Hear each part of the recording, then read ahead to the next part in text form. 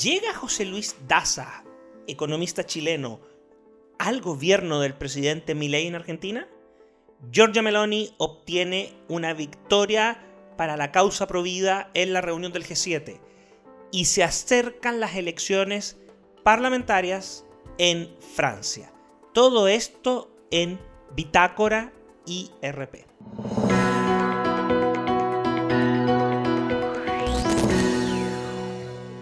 Soy Álvaro Iriarte, director de contenidos del Instituto República, y les doy la bienvenida a una nueva edición del programa en donde analizamos ideas, personajes y perspectivas. Bitácora IRP.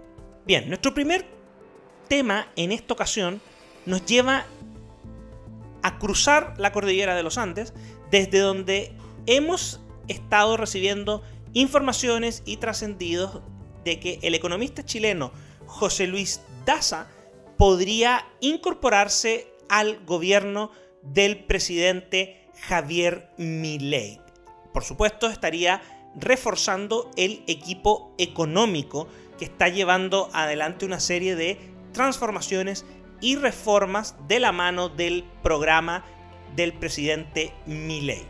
Específicamente eh, está circulando en distintos medios la noticia de que el economista chileno asumiría entonces el cargo de secretario de Política Económica del Ministerio de Economía, lo que vendría a ser algo así como la subsecretaría de Hacienda en el caso de, de Chile.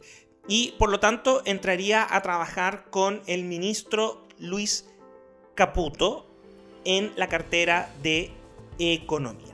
José Luis Daza es un eh, economista que ha sido reconocido eh, por haber estado trabajando y haber adquirido experiencia en Wall Street, donde fue jefe de estudios de mercados emergentes de JP Morgan Chase y del Deutsche Bank. Eh, tiene un currículum bastante interesante y atractivo para el proyecto que se está tratando de desarrollar en la Argentina y ha estado vinculado de alguna manera con estos temas de carácter macroeconómico, de reforma y de política fiscal. Em, participó eh, colaborando eh, con los ministros Eduardo Ninat y Nicolás Izaguirre en Chile. El 2021 fue eh, asesor en plano económico en la campaña del candidato José Antonio Cast. Y esto es bien interesante y bien importante porque efectivamente es una persona que, que ha estado de alguna manera observando de cerca el proceso del presidente Milei, su instalación y su agenda de reforma. Eh, no olvidemos que cuando asumió, declaró la nación eh, respecto al, presidente Milei, nunca vi un presidente que en campaña diga que el problema central es el exceso de gasto público y que lo va a bajar.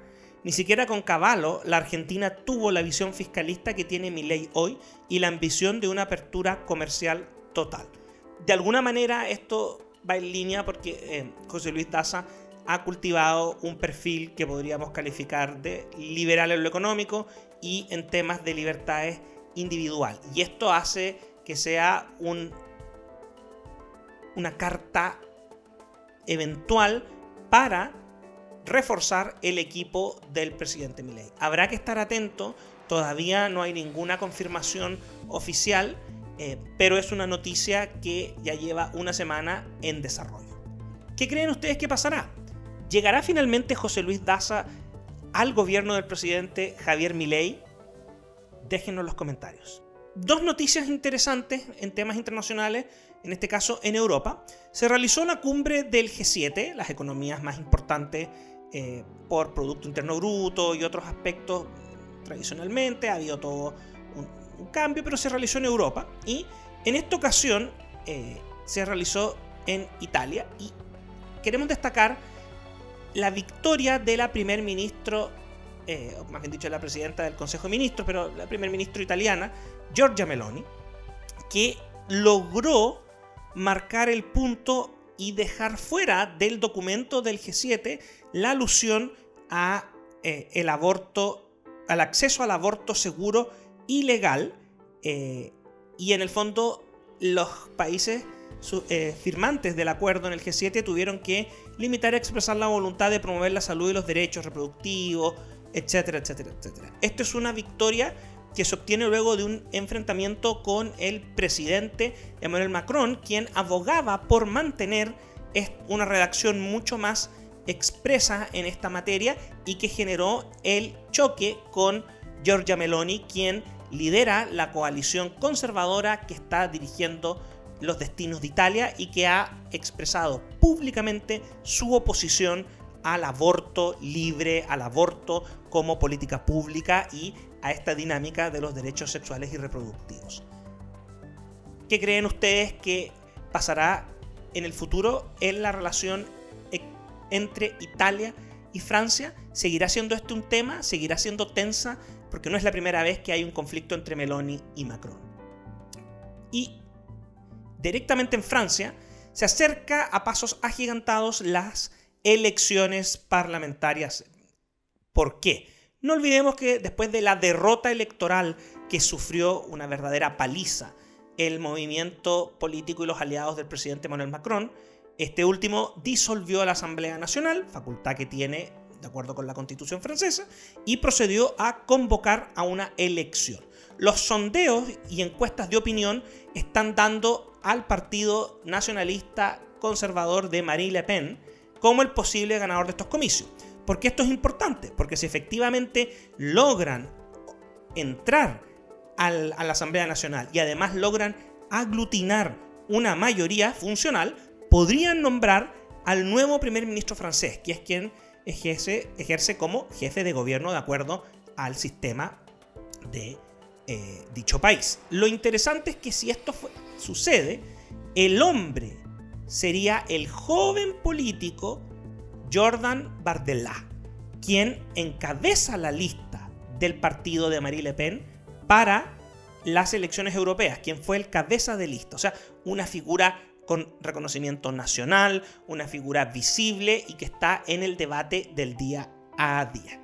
Eh, y de hecho, una para que tengamos ya en, perspectiva y tengamos en, nuestro eh, radar a Bardella, señaló que si triunfaban en las elecciones que han sido convocadas, iban a privatizar la televisión y radio públicas para ahorrar dinero. Eh, dijo que vender los servicios públicos de radio y televisión tendría un impacto de un ahorro de más de 3 mil millones de euros que se podrían destinar a financiar otras políticas en la nación. Esta pelea de inmediato se tomó redes sociales y la discusión eh, y se produce en medio de un momento delicado para la televisión y la radio estatales francesas. ¿Por qué? Porque han visto desmejorada su posición eh, toda vez que se están produciendo profundos cambios en el mercado de las telecomunicaciones, pero también existe cuestionamientos a su modelo de financiamiento. ¿Qué creen ustedes que sucederá? ¿Logrará llegar eh, Marie Le Pen con su partido a la Asamblea Nacional? ¿Obtendrá la mayoría? ¿Será Bardella el nuevo primer ministro francés y cumplirá su promesa de privatizar la televisión y radio estatal? Déjanos tus comentarios. Bien, hemos llegado al final de esta edición de Bitácora IRP. Como siempre, los invito a suscribirse al canal de YouTube del Instituto República y activar las notificaciones para estar atentos a todo el contenido que se está cargando permanentemente. Asimismo, los dejo invitados a que sigan al Instituto República en nuestras distintas redes sociales a través de las diversas plataformas. LinkedIn, Facebook, Instagram, X, TikTok y por supuesto YouTube. Los dejo como siempre cordialmente invitados para la próxima semana en este mismo canal, a esta misma hora, a una nueva edición de Bitácora IRP.